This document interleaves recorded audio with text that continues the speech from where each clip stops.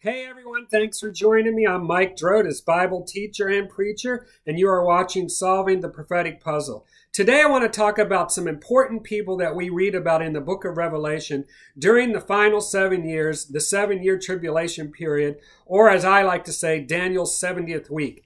The first people that I want to talk to you about, I've always been really interested in them, is the two witnesses. And they're found in Revelation chapter 11. So let's go to Revelation chapter 11 and learn a little bit more about these two witnesses.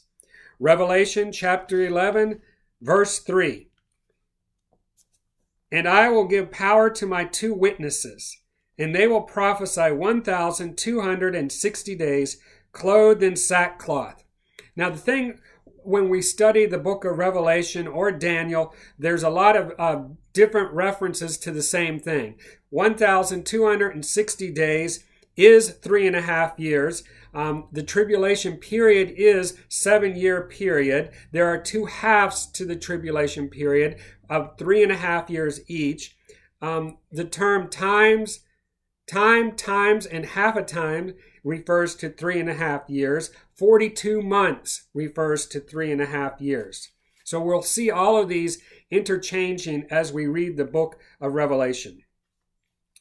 Verse 4 These are the two olive trees and the two lampstands standing before the God of the earth. And if anyone wants to harm them, fire proceeds from their mouth and devours their enemies. And if anyone wants to harm them, he must be killed in this manner. These have power to shut heaven so that no rain falls in the days of their prophecy, and they have power over the waters to turn them to blood and to strike the earth with all plagues as often as they desire. That's what these two prophets have the power to do. These two witnesses have a ministry to prophesy. They have a ministry to, to expose the Antichrist as who he really is. They, they, they are given power to shut up the heavens, power to turn water into blood, power to strike the earth with plagues. Who are these people? On the Mount of Transfiguration, we see that Jesus met with two individuals, Moses and Elijah. And he was talking to them about, about his death. Elijah has power to shut off the heavens from rain. Moses had the power to turn water to blood and Moses had the power to bring plagues upon the Egyptians. I'm just speculating that maybe these two witnesses are Moses and Elijah. When Moses died, his body was never found. Elijah was carried away in a chariot of fire. Jude talks about a dispute between Michael and Satan over the body of Moses. Second Kings tells us a, a very interesting story about, about Elijah when he was walking uh, to town, there was a group of 42 boys that began to harass him and taunt him and call him names. And suddenly, as, as they were doing this, two bears came out from the woods and mauled the 42 uh, young boys. You may be saying, what does that have to do with what you're talking about? Isn't it interesting? Nothing in the Bible is there by accident. Why was it 42 children, young boys? Why was it two bears? I propose that Moses and Elijah will maul the Antichrist for 42 months, constantly um, uh, correcting him, constantly being critical of him, constantly prophesying against the Antichrist, constantly telling the world that he's a false Christ. He's not the one that they think he is. And he will, they will be a thorn in his flesh. And the Antichrist will not be able to kill them. Revelation chapter 11, verse 7. Finally, after the 42 months, we read in Revelation chapter 11, verse 7 When they finish their testimony, the beast that ascends out of the bottomless pit will make war against them and overcome them, and he will kill them. And their dead bodies will lie in the street of the great city, which spiritually is called Sodom and Egypt, where also our Lord was crucified. Then those from the peoples, tribes, tongues, and nations will see their dead bodies three and a half days, and not allow their dead bodies to be put into the grave. And those who dwell on the earth will rejoice over them, make merry, and send gifts to one another, because these two prophets tormented those who dwell on the earth. The beast will finally kill these two prophets The beast will kill them after 42 months. He'll leave their bodies lie out in the street of Jerusalem for three and a half days. It says here that the, the, the, the world will make merry. They'll send gifts to one another. It's almost like a demonic Christmas is occurring when these two uh, great men of God are killed by the beast. Then in verse 11, now after three and a half days, the breath of life from God enters them, and they stood up on their feet, and great fear fell on all those who saw them. And they heard a loud voice from heaven saying, Come up here. And they ascended to heaven in a cloud, and their enemies saw them. They're resurrected. These, these two witnesses, when their ministry is, is finished, will be resurrected and they will be taken up to heaven. The second group of people that I, I'm interested in is the 144,000.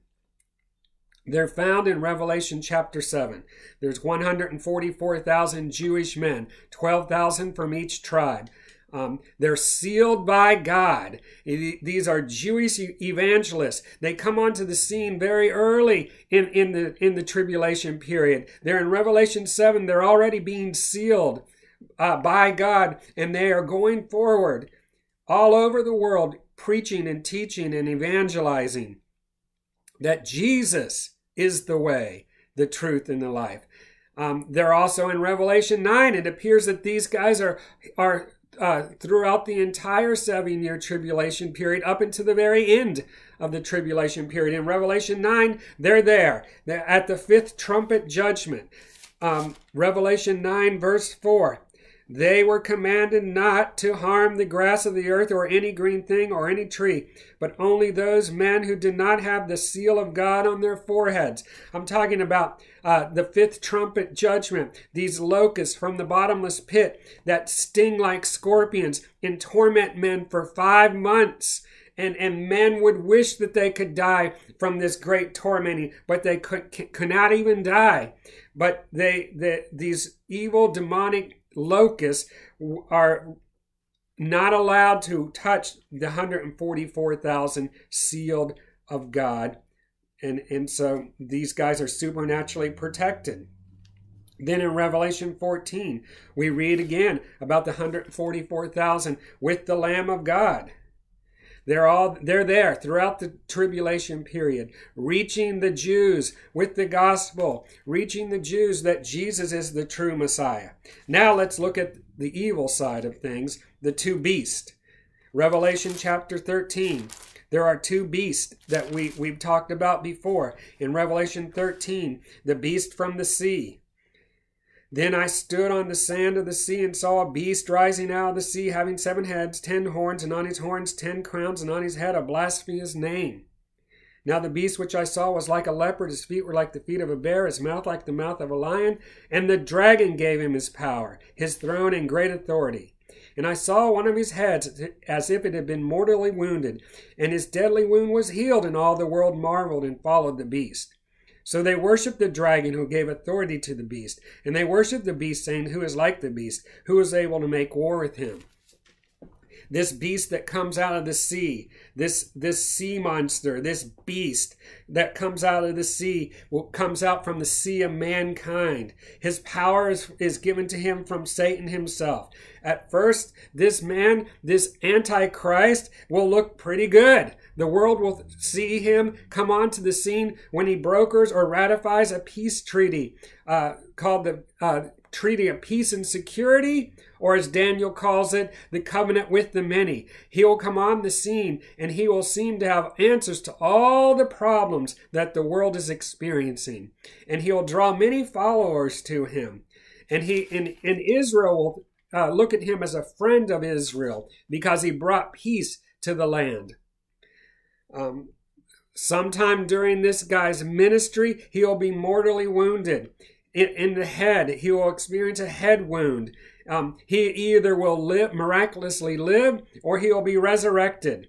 But this guy is pure evil. Verse 6 tells us Then he opened his mouth and he blasphemed against God. He blasphemed his name. He blasphemes his tabernacle and he blasphemes those who live in heaven. He was given power um, to make war on the saints and he blasphemes God. Next, he's also given a, a, a friend in verse 5 and he was given a mouth speaking great things and blasphemies and he was given authority to continue for 42 months.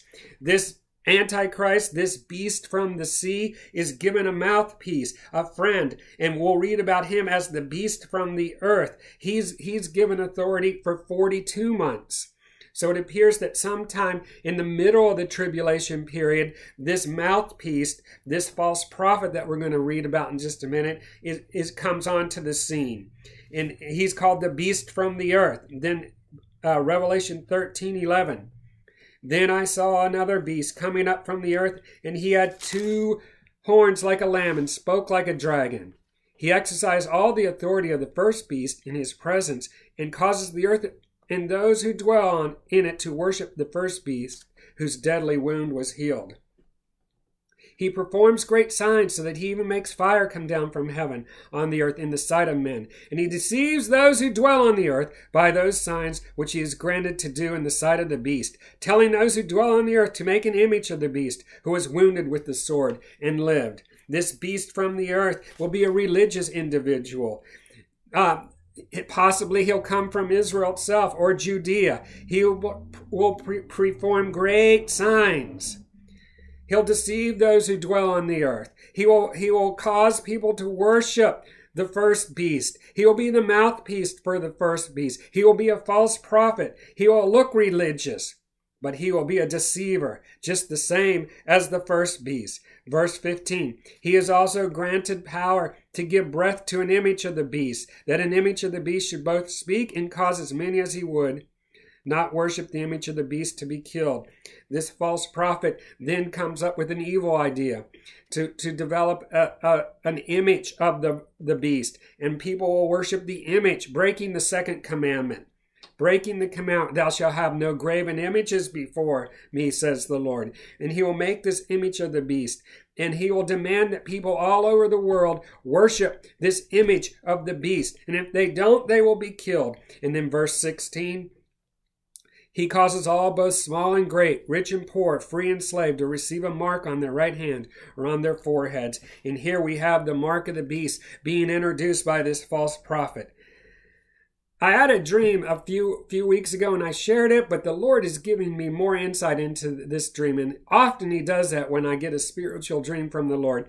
In the in the initial dream, I had a bird's eye view of a city. It it could have been an American city or it could have been any city anywhere, but it had big buildings, it had little buildings, it had cars, it had people.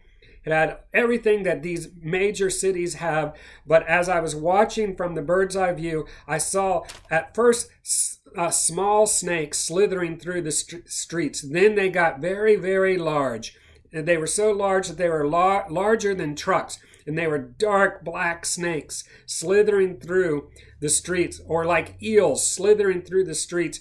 And then they would burrow underneath the city and make these huge caverns or these huge holes where they would go in underneath the foundation of the city.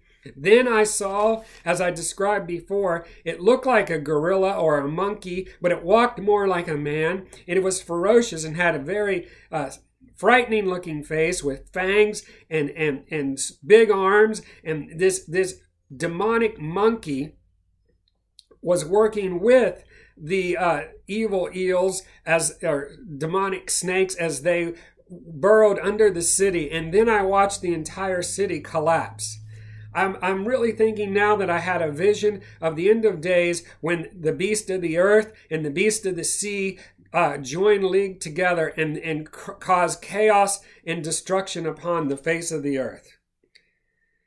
The good news about all this is we win. We win. There's no reason to be afraid of the future. We win.